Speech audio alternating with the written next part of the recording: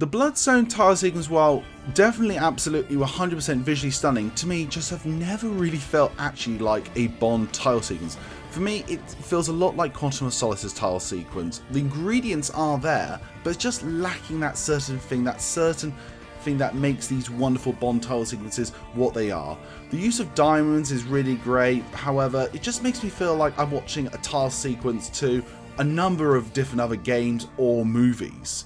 For me, I always feel a title sequence really does need to flow. There needs to be a bit of a narrative flow and this one just jumps there, there, there, there, there. It's absolutely everywhere. There is no natural progression with it. And then you have that spit with those armed guards appearing over the diamonds. There's just no synergy to it. Now, there is one bit in this title sequence that just really actually bugs me, where they're basically trying to imitate the Casino Royale title sequence when someone gets killed. In that sequence, they turn to either spades or clubs. Here, it's diamonds. And I'm just watching this thinking, this has already been done.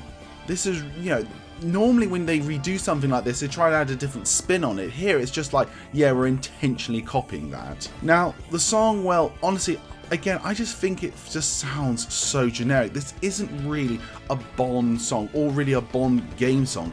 For me, it just, there isn't anything really strikingly brilliant or memorable about it. I really honestly can't even remember it even when I'm making this review.